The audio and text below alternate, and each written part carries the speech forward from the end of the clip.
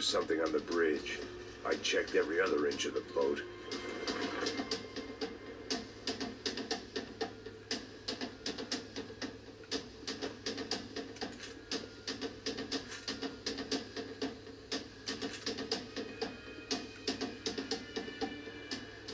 I spotted Passos and Marcelo.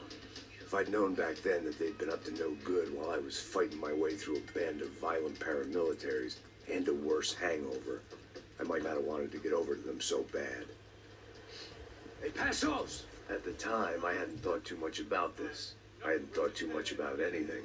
Now I remember it, it didn't seem quite so kosher. What about what's her name? Daphne. Uh, do whatever you think is best.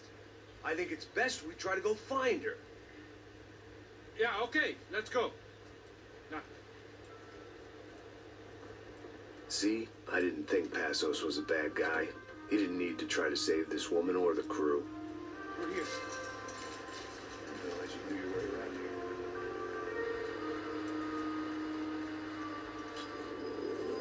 They were using that building to get across the canal.